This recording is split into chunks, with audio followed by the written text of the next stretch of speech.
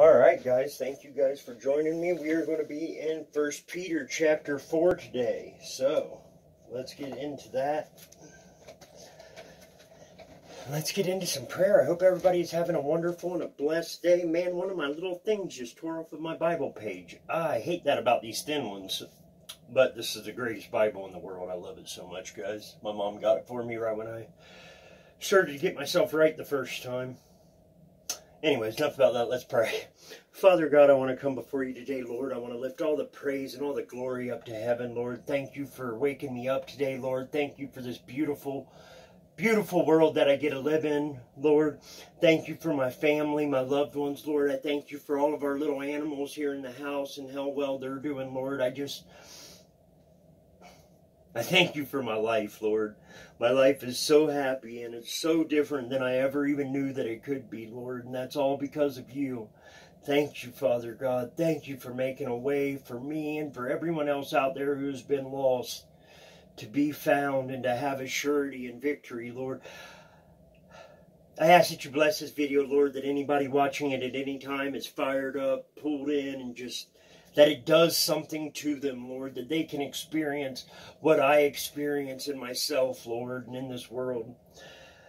Um, I ask, Lord, that you continue to allow us to be workers in this great harvest and and push us into saying or doing whatever it is that needs done or said to bring more of the lost and the fallen into your fold, Lord.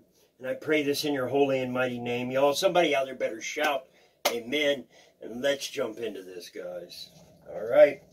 First Peter 4.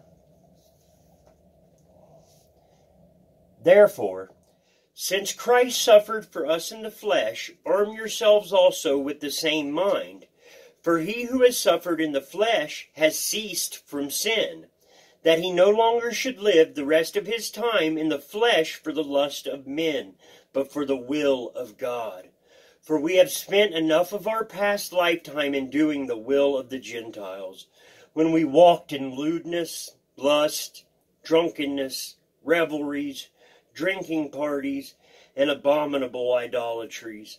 In regard to these, they think it strange that you do not run with them in the same flood of dissipation, speaking evil of you. They will give an account to him who is ready to judge the living and the dead. For this reason, the gospel was preached also to those who are dead, that they might be judged according to men in the flesh, but live according to God in the Spirit. But the end of all things is at hand. Therefore, be serious and watchful in your prayers. And above all things, have fervent love for one another, for love will cover a multitude of sins. Be hospitable to one another without grumbling. As each one has received a gift, minister it to one another as good stewards of the manifold grace of God. If anyone speaks, let him speak as the oracles of God. If anyone ministers, let him do it as with the ability which God supplies, that in all things God may be glorified through Jesus Christ, to whom belong the glory and the dominion forever and ever. Amen. Beloved, do not think it strange concerning the fiery trial which is to try you, as though some strange thing happened to you, but rejoice to the extent that you partake of Christ's sufferings, that when his glory is revealed, you may also be glad with exceeding joy. If you are reproached for the name of Christ, blessed are you, for the Spirit of glory and of God rest upon you. On their part he is blasphemed, but on your part he is glorified. But let none of you suffer as a murderer, a thief, an evildoer, or as a busybody in other people's matters. Yet if anyone suffers as a Christian, let him not be ashamed, but let him glorify God in this matter. For the time has come for judgment to begin at the house of God.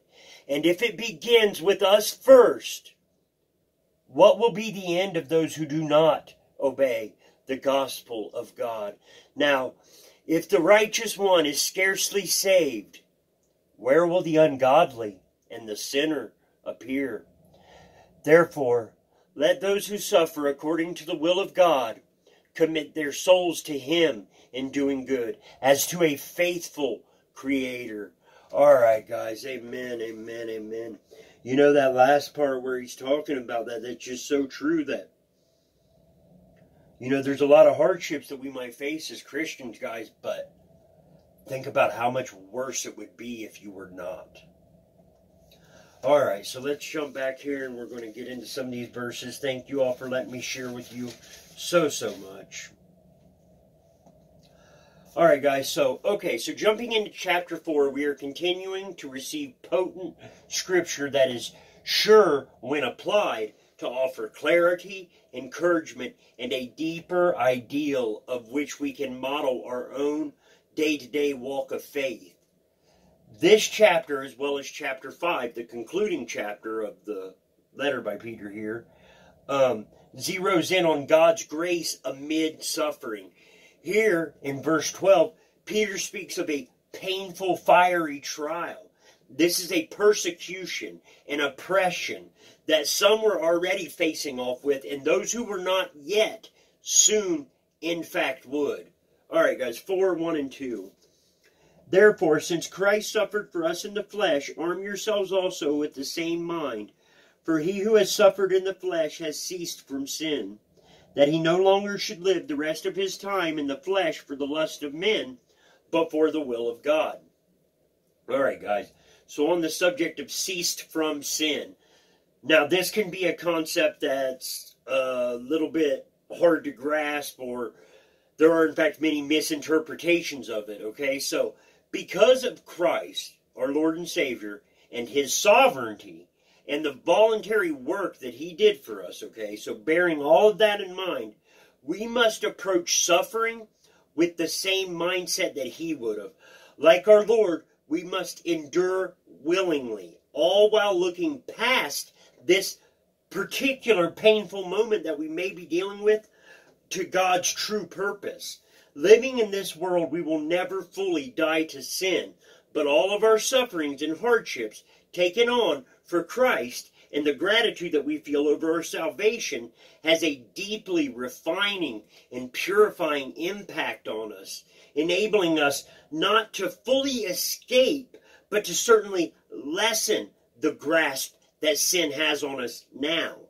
Daily, we can experience a more potent crucifixion of our own flesh. All of this will allow a deeper focus on God and a more a more fervent drive in order to bring his will to bear on this world, guys. 4 3 through 5. For we have spent enough of our past lifetime in doing the will of the Gentiles when we walked in lewdness, lust, drunkenness, revelries, drinking parties, and abominable idolatries. In regard to these, they think it strange that you do not run with them in the same flood of dissipation, speaking evil of you. They will give an account to him who is ready to judge the living and the dead. Okay, guys, so new converts and born again believers are more prone to fall victim to peer pressure from old cohorts and the like who now think it strange that we no longer run with them, that we no longer join in in that old life of iniquity and wickedness. While we don't want to condemn or abandon those who are lost like we once were, caution is a must. And quite often, guys, all that we can do to safely maintain ourselves is to pray for them. But to be honest, that's enough. I'm here as proof of that. Care must be shown as these past companions are likely to have a corrosive or rotting effect on those walking in a fresh faith. Sadly, if distance isn't kept, one can easily be pulled back in to places of darkness and times of darkness. All right, guys, 4 8. And above all things, have fervent love for one another, for love will cover a multitude of sins. Y'all, I'm reading that again. It's short, simple, powerful, to the point, and absolutely true. And above all things, have fervent love for one another, for love will cover a multitude of sins. All throughout the Bible, and rightly so, love is supreme. And here, Peter again confirms this for us. In fact, fervent love, or translated more literally, love stretched to the limit, y'all. That's what fervent means. Stretched to the limit. So a love just getting as much as you can get out of that love because this is an active love. It's a biblical love. It's a love that reaches out to all. It is the type of love that gives 110%. This type of love is the love that we as Christians must exemplify and we must shine it like a spotlight into the darkened mall of this fallen world. We only use this light to illuminate what lays ahead. We don't use it to look back into others' past. No, in fact, this is the love that not only forgives, but it does so quickly. And what's more is once done forgiving, this is the love that will not retrieve that wrong. It won't pull that wrong back up and bring it back up. And it won't allow that wrong to set in the back of their own head and shade the way that they see you. No, this is the kind of love we all want and need. 4 9, guys. Be hospitable to one another without grumbling. Short, powerful, to the point. Hospitality in the ancient world was of particular import because inns and places like this where you could stay or lodge were quite often very dangerous. And also, often there were no rooms or vacancies. Peter makes use of this as a potent comparison for living in a wicked world as believers. Yet one more reason that each of us, as God's elect, are called to show real love in our daily life, always seeking to, to help in service to others, regardless of difficulties. 414, guys. If you are reproached for the name of Christ, Blessed are you, for the Spirit of glory and of God rest upon you. On their part he is blasphemed, but on your part he is glorified. All right, guys, so the Spirit of glory and of God, i.e., the Holy Spirit, our great comforter, this tremendous wellspring of power indwells each of us as Christians. How glorious! God is our oyster. We are his pearl. See, an oyster takes a grain of sand that comes inside and it takes it and it coats it and coats it until it becomes this beautiful, perfect thing. And that's what we are. God takes us and he uses our difficulties and he washes over us with all that he is. And in the end, our character and our value are made unrivaled. 419, guys, last one I'm going to share with you today. Therefore, let those who suffer according to the will of God commit their souls to Him in doing good, as to a faithful Creator. There is much that we don't or can't understand within the will of God. And suffering can sometimes be a part of that, and it is definitely within the will of God. In order for in order for anything and everything we do to work, we must give ourselves fully to Father God. After all, He is our faithful, loving Creator, and we have the assurity and the peace of mind that flows from Scripture. Like, for instance, Romans 8.28. Let me share that with you real quick. Romans 8.28, guys.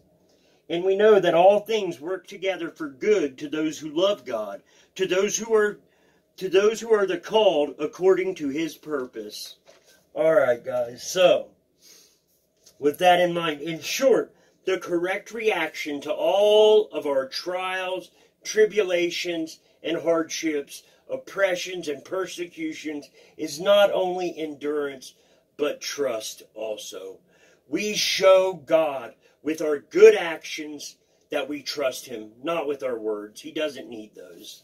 All right, guys, if you're not subscribed, smash the subscribe button. I drop a new video like this six days a week, and I promise if you can put up with me, I'm going to say something that you want and need to hear, guys. Um, give the video a thumbs up if you liked it, if you want to share it.